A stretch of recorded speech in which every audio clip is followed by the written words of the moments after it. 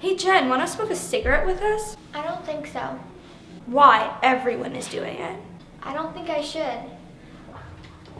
8 out of 10 VT teens choose not to smoke. Come on, it'll make you look cool and be more popular. I think I should. Smoking rots your teeth and turns your fingers yellow. It's not gonna hurt you. My parents wouldn't want me to.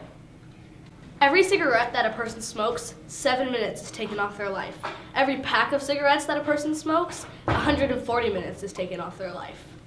No one will find out.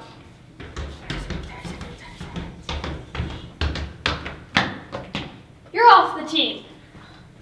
Please stop pressuring me into smoking. I don't want to. 200,000 people every day die from tobacco related illnesses. Just smoke the cigarette, Jen. It's not going to kill you. Please stop pressuring me. We can't hang out with us if you don't smoke this cigarette right now. This. Good, because I don't want to smoke a cigarette. And if you were my friend, you would stop pressuring me into smoking that. If you want to hang out and go to the movies, okay? But I hope you realize what you're doing.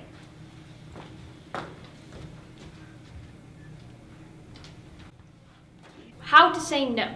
Look at the person. Use a calm, assertive voice tone. State clearly that you do not want to engage in this inappropriate behavior. Suggest another activity and give a reason. If the peer persists, continue to say no.